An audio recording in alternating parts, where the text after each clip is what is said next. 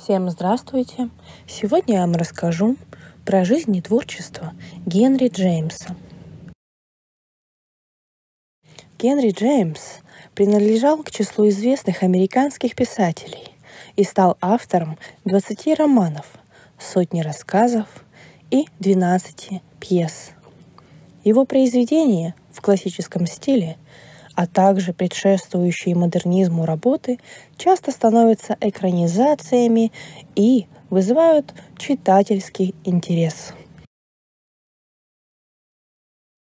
Генри Джеймс родился в Нью-Йорке 15 апреля 1843 года в семье выходцев из Европы, носителей ирландских и шотландских корней. Его мать, имевшая состояние, воспитывала многочисленное потомство, а отец, наследник банкира, увлекался философией и религией.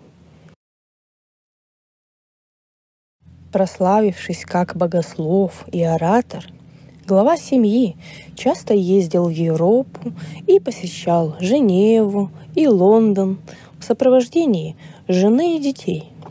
Поэтому начальным образованием мальчика занимались частные репетиторы, и его способности с раннего возраста восхищали учителей.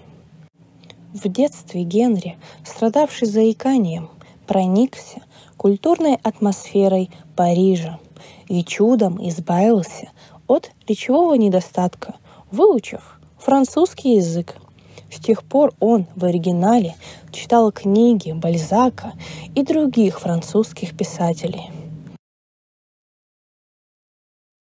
В начале 1860-х годов старший брат Джеймса, будущий психолог, поступил в университет Бостона, и вся семья переехала к нему.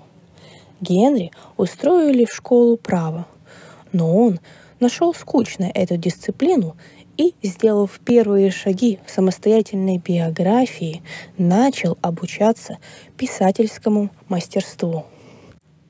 Подружившись с литераторами и критиками, юноша создал текст театральной постановки, а потом появился рассказ «Трагедия ошибок», и подающего надежды автора пригласили писать материалы по заказу журналов и газет –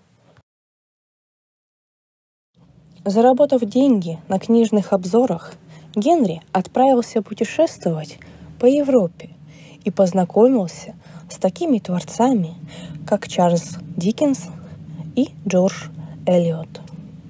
А потом он поселился в Лондоне и начал писать женские романы. Но в то время издатели не печатали ни одну из работ автора.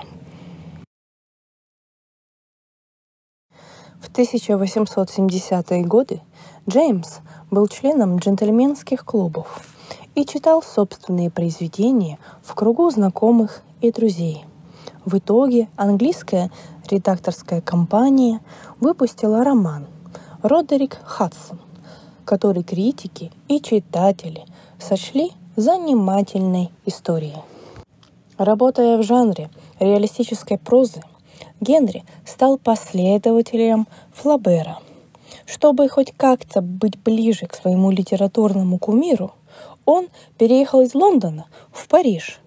Там он подружился с писателями Эмилем Золя и Тургеневым. И после публикации ряда произведений утвердил в Европе американский престиж – Творчество этого классического периода состояло из серии любовных произведений. Вашингтонская площадь, Дейзи Миллер, Уверенность и женский портрет. А потом писательское внимание переключилось на изучение прогрессивных явлений. И это привело к острому кризису, который длился на протяжении пяти лет – Несмотря на это, библиография Джеймса пополнилась такими сочинениями, как «Бостонцы», «Трагическая муза», «Поворот винта». В них автор поднимал вопросы социальной и общественной революции, а также взаимопроникновения и противостояние культур старого и нового света. В попытках добиться успеха у читателей автор занялся драматургией, но публика не оценила ни одну из поставленных пьес. Однако эти литературные эксперименты помогли формированию нового стиля, благодаря которому Генри раздумал ставить на собственном творчестве крест.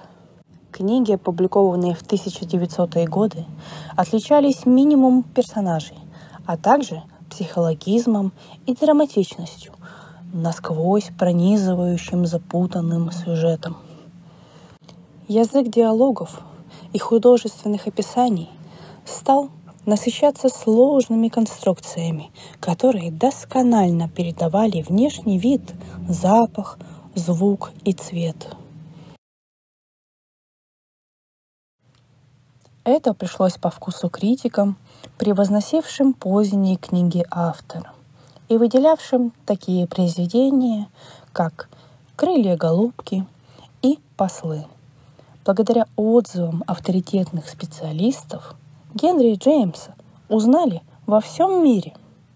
И знаменитые кинематографисты сделали из романов художественные фильмы –